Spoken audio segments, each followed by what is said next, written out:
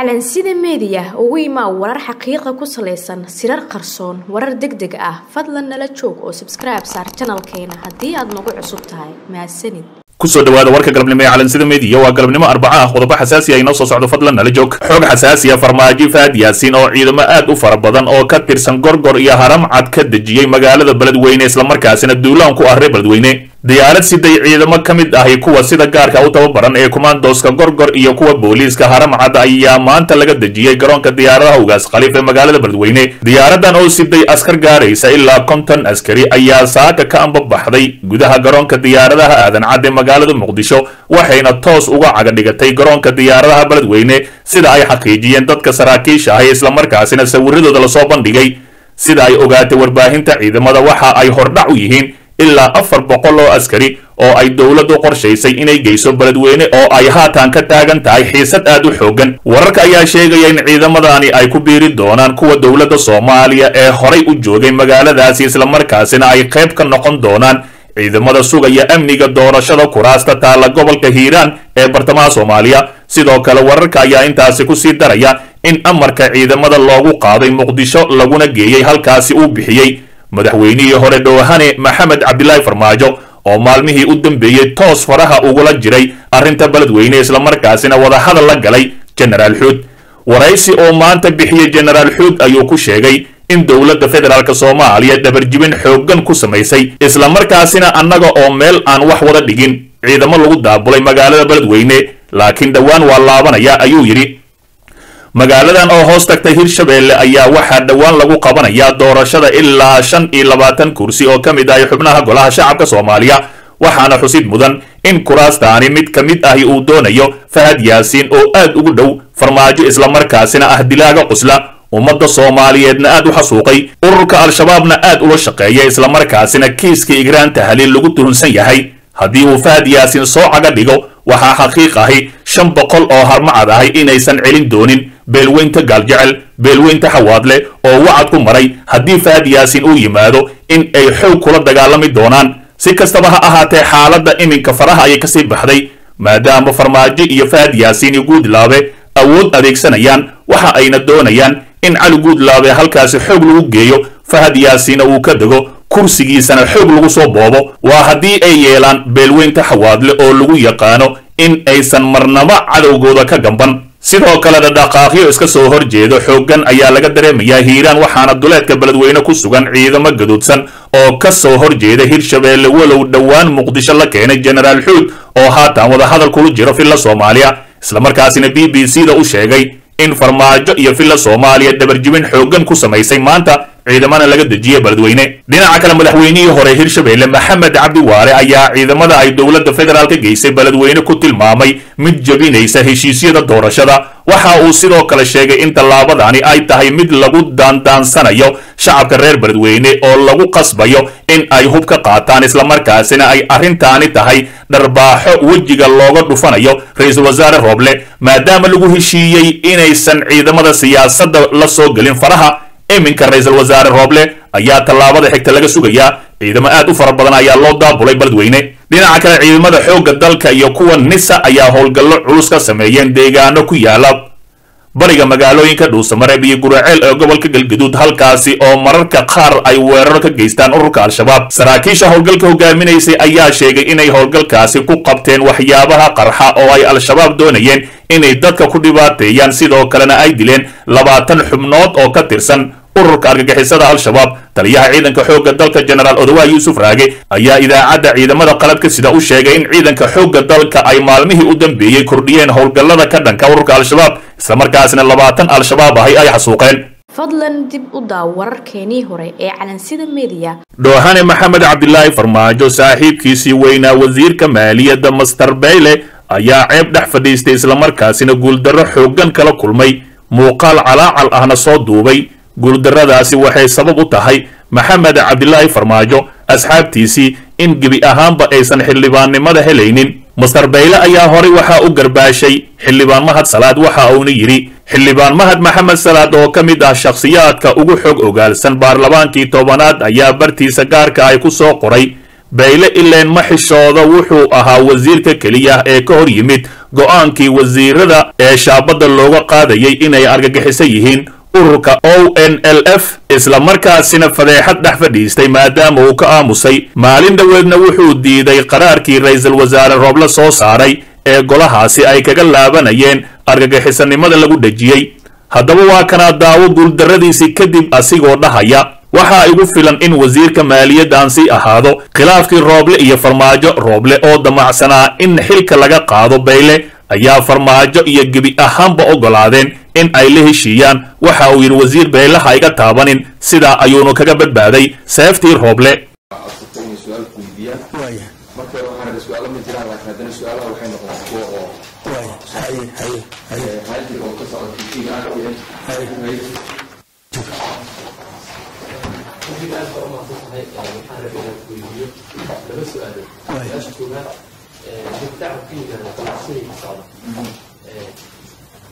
ka dalka muxuu dhimayaa iyo kabka heli jira ee beesha caalamka su'aasha koowaad su'aasha labaad dakhli ururinta xilligan kala guurka laga yaabaa in ay lacag kulmaan waa saamaynta dakhliururinta iyo doorashooyinka iyo qabka beesha caalamka iyo dibudhaca doorashada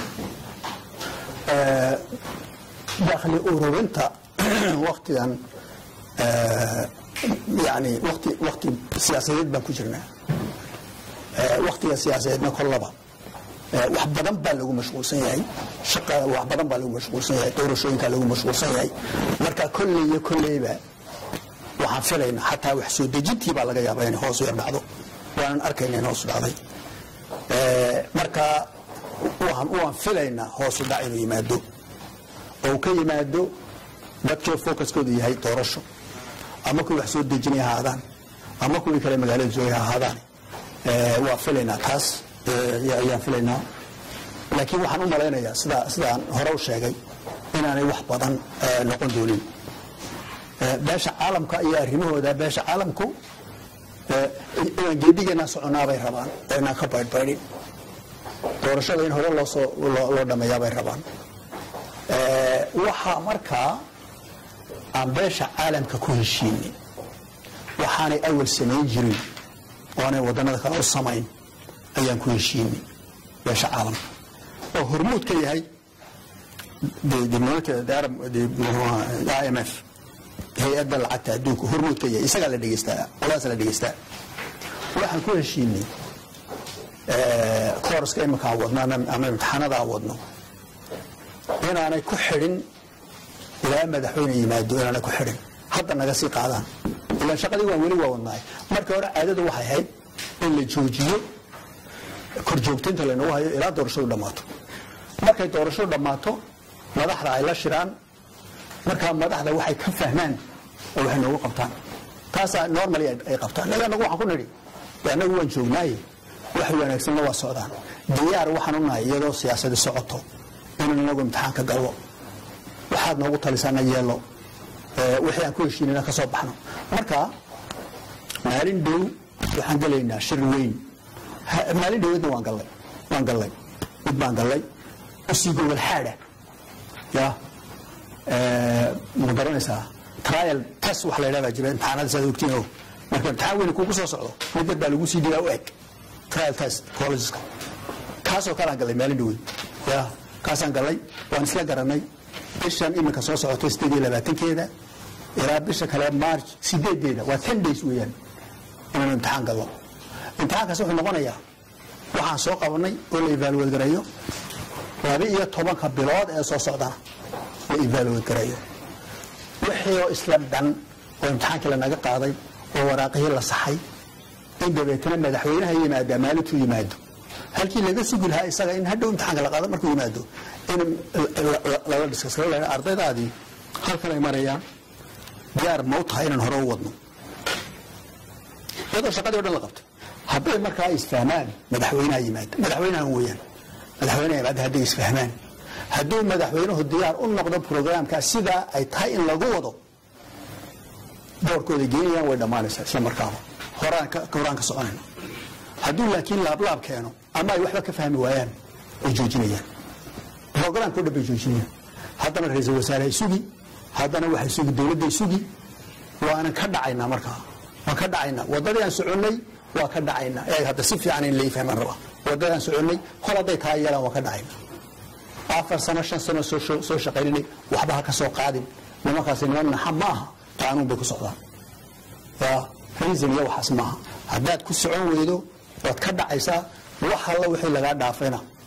Waa laguu soo celinaya lacagtii halkaa kolayga aan kuu sheega la sugayna bixi baa lagu oranaya deena waa adduunkan ka mid nahay. Intaasoo wadan baa sidaa lagu sameeyey maarata markaa taasina waa ta labadii su'aal waa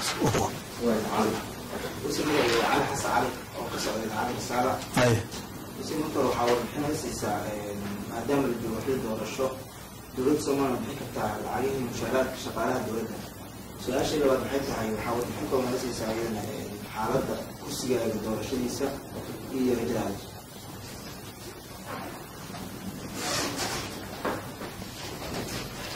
okay shaqaalaha ma la bixin karaa shaqaalaha iyo iyo wixii kale ee muhiima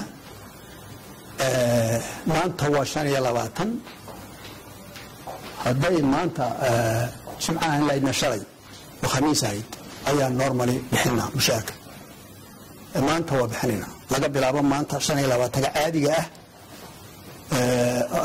Caadatan waxaa ugu horreeya ciidamada. Ciidamada maanta ugu horreysanayna ciidamada afarta ah iyo ciddii kale diyaara marka mushaarka waa la bixinaya shiki male bisha soo socotana waa la bixin. Ya kuwa kalena hab un baynu hab un baynu samayn doonaa in la bixiyo. Taasi waa taa weeye. Now maxaad i weydiisa kursiga miya now waxaan idiin sheegayaa dadka soomaaliyeedna aan doonaya inaan la wadaago.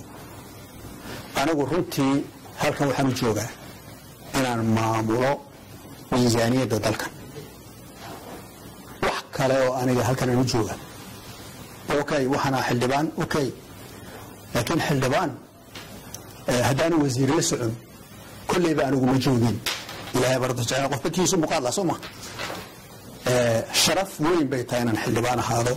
Xildhibaanadu waa dadka waddanka ugu sarreeya wey sharaf weyn wey laakiin anuu haddaan tayda ka hadlo miisaaniyadda iyo dhaqaalaha dalka ayaan u joogaa miisaaniyadda iyo dhaqaalaha dalka inaan u maamulo si sharciyaysan oo adduunku og yahayna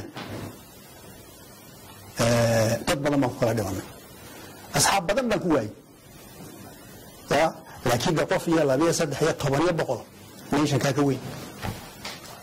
Markaa wax alla wixii carqalad yar u keenaya habsame oo socodka maaliyadeed.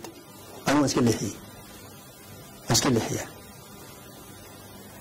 qandaraas wax la qabanayo oo la damco in qof la siiyo iyadoo aan competition loo gelin. Iyadoo aan loo gelin tartan loo gelin. Oo dabeetana si fiican loo xaliyo iyadoo sharciga waafaqsan. In si uun qof loogu leexiyo waan iska dhaafaa. Iska leexiyaa taa. Waxay dhibaata inoo keenaysaa maarta habka miisaaniyadda oo uu ansixiyo muxuu ahaa golaha wasiiradu. Anigu intaan geeyo tiimku ka shaqeeyaan dabeetana aan geeyo muxuu ahaa kaabinetka oo dabeetana la ansixiyo muxuu ahaa baarlamaanka loo geeyo soo ansixiyo madaxweynuhu saxo wixii intaa aan waafaqsanayna waan iska diiday. Ya waan iska diiday marka wax alla wixii aniga carqaladii keenaya dalkan carqaladu keenaya ee miisaaniyadda taabanaya. Ya waan diiday marka sidaa waxaan u arkay kursigii iyo maaliyaddii inay isku taabanayaan. Markaa dee un qofkii alla u calfay unba unba heli doona. Sidaas markaa taasna halkaas ayay maraysaa. Waxaan filayaa odayaashii kuraasida lahayn ay u madax banaanaan doonaan ay hod oo dabeetana cid kale la soo dooran doono. Anigu laakiin mabsuud waxaan ku ahay maaliyadda iyo arrimaheeda. Wixii uun si uun aan u arko inay si uun arrintaa u taabanayaanna ilaahay wuxuu ogyahay dhinac baan iskaga dhigay. Taasina waa taa any other questions? Okay. Aad baad u mahadsantihiin. Waa idin salaamaya. Dhegaystow ogow haddaadan xalka qayb ka noqon waxaad qayb ka tahay dhibaatada dalka